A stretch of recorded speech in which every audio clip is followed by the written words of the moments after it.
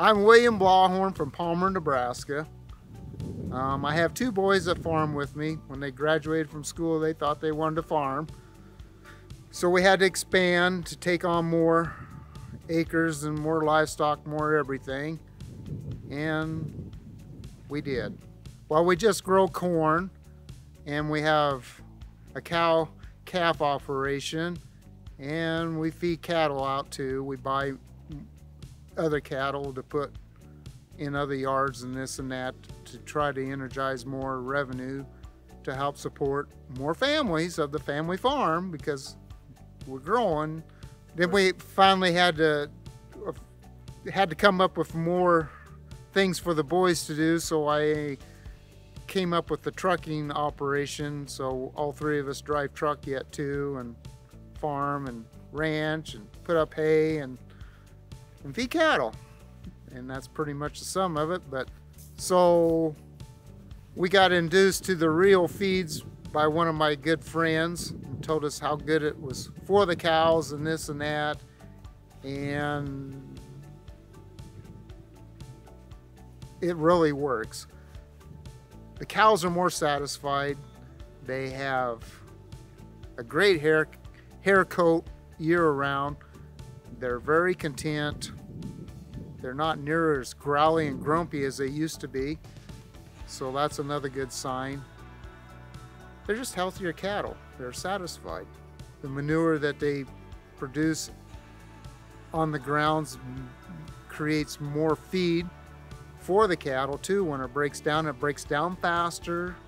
Baby calves are healthier, they're stronger, they're more energetic. Um, we have less sickness, by far less sickness. Um, our biggest problem with calving, and everybody has it, is, is the weather. The weather bothers us all the time, just like everybody. But we don't have near the sickness, by no means. Since we've been on the Rio program, our conception rate on the cows is tremendously better.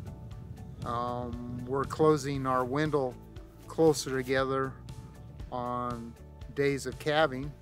Bulls are in just as many days, but they've their cycles have moved up, so that's that's a good deal. The calves are more uniform that way. On our pastures, we use we have more grass left over versus what we didn't have before. So I would say that they eat less and they're way more content. So we can have, we have more days on grass than we used to have, which is actually a hay savings because we go to pasture first of May and we didn't take nothing out until October this year. We had grass. So we had more than five month grass season. Wow. Well, and your cornfields last longer too, because they'll graze a lot longer without having to be moved.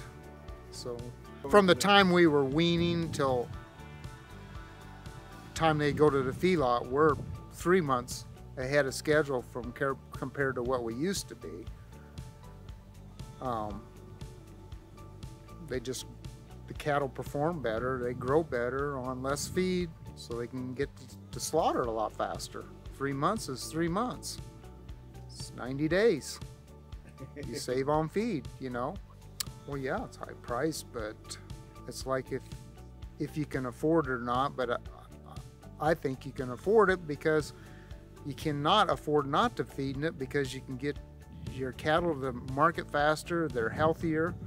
You can could run more cattle on your land or you can stay there longer before you have to move on to an, another patch. The cows are way healthier. They're way more content. They're happy. They're happy cows. Um,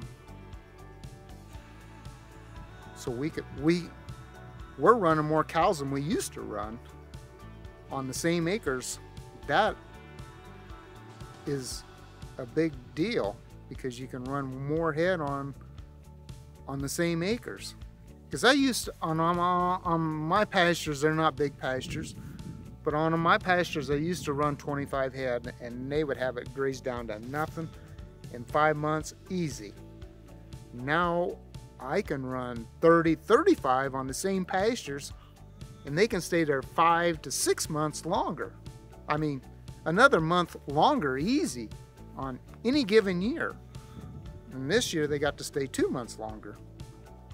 And there's still grass left over. With the hay,